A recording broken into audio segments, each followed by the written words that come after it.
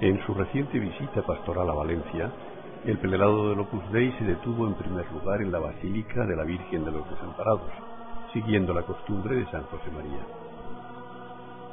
El 1 de julio participó en la ceremonia de dedicación de la parroquia de San José María, presidida por el arzobispo de Valencia, Monseñor Agustín García Gasco.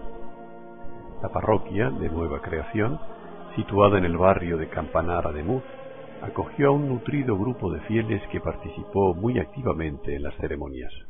El Centro Integrado de Formación Profesional Chabec, situado en el corazón del popular barrio de Orriols, nació con motivo de la canonización del fundador del Opus Dei en 2002.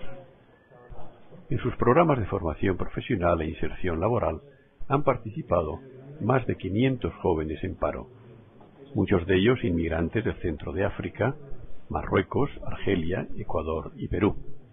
En el Colegio Vilabella, promovido en 1980, Monseñor Javier Echevarría bendijo una imagen de la Virgen, acompañado por un buen grupo de padres, profesoras y alumnas.